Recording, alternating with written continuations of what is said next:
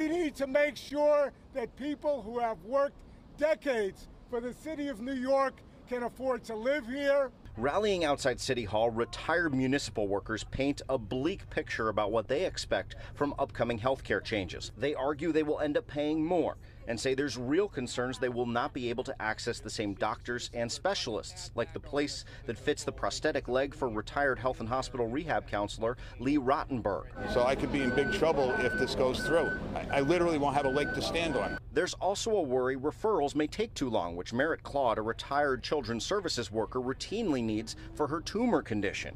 So if I don't get a scan on time, if they think something's happening, then I'll die. The retirees have sued to stop the changes from happening and are getting behind a bill in the city council with some bipartisan support to force the city onto the old health care plan. Because it's a right thing to do.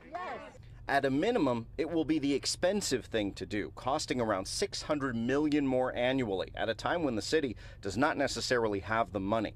Henry Garrido heads DC 37, the largest municipal workforce union. The union supports the change for retirees and says the new plan is premium free, can be used anywhere that accepts Medicare, and has the same copays regardless of network. Plus, the new plan will be eligible for additional federal subsidies to help control cost. The union admits there is some additional paperwork around referrals to discourage unnecessary and costly ones.